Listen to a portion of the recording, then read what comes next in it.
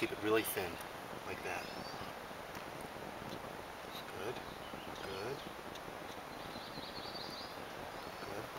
Do it again because we want to get it on the fur a little deeper because it's going to grow a little more fur. Right, go slowly, good.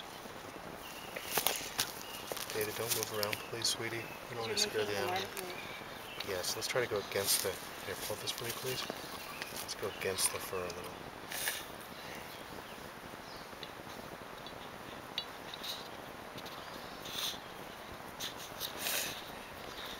So, hopefully G will live long and prosper.